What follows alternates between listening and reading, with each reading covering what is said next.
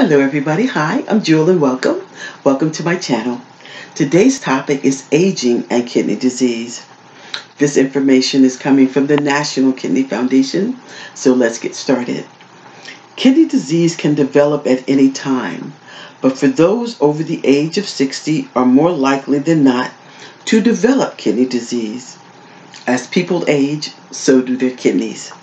According to recent estimates from researchers at Johns Hopkins University, more than 50% of seniors over the age of 75 are to believe to have kidney disease. Kidney disease has also been found to be more prevalent in those over the age of 60 when compared to the rest of the general population many people don't realize as we age, we lose kidney function.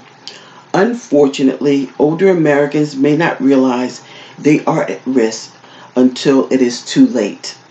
The National Kidney Foundation urges everyone over the age of 60 to be screened for kidney disease. NKF recommends annual screening with a simple urine albumin test that checks the protein in the urine the earliest signs of kidney disease and kidney damage, as well as a blood test for kidney function. In addition to seniors, the National Kidney Foundation recommends that members of other high-risk groups, such as diabetes, high blood pressure, and or a family history of kidney failure, also be screened annually. Kidney disease often develops slowly and with few symptoms and many people don't realize they have it until the disease is advanced. Awareness of kidney disease, especially for those at risk, is the first step to preventing or slowing the progression of kidney disease. Kidney damage can manifest as deceased kidney filtration or urine in the urine, said Morgan Grams, MD, PhD of Johns Hopkins Bloomberg School of Medicine. If this is recognized and evaluated by both patients and their physicians, then the risk of complications can be managed. Kidney disease facts.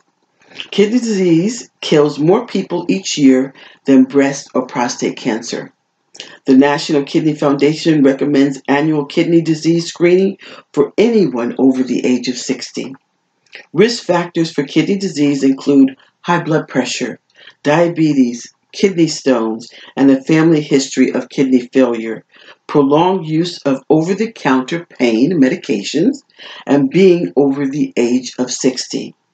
More than 37 million Americans, one in seven adults, have chronic kidney disease, and most don't know it. And there are over 112,900 people right now on the transplant waiting list. So, guys, this was aging and kidney disease. And as the article states, anyone over 60 should have an annual test, annual urine test to test their albumin and their protein in their urine, and of course a blood test to see what kind of um, kidney function that they have. And also, I don't think people, most people realize that kidney disease has, um, it has become a crisis state right now in the U.S and more people die from kidney um, disease than breast cancer or prostate cancer. So, everyone, please get checked if you are over the age of 60. And if you have the risk factors, of course, of high blood pressure, diabetes, or a family history of kidney failure. As they state, you know, we can combat this disease if it is catched early in the progress, and that's why we need to be tested. So, guys, if you found this information useful, which is aging and kidney disease, please like, share, and subscribe. And as always, always sending you so much love and affection from all CKD patients that have walked the same walk that you're walking right now. And we have been through everything that you're going through, so we know what you're going through.